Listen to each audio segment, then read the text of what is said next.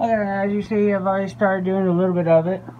But this time I'm not going to spray anything. I'm just going to put it back in the frame. And yeah, basically, I have this. With, I forgot with a brush. And I have glue. Watered down glue, but glue. So basically I'm just going to you know, do the outline of the words and all the stuff in this.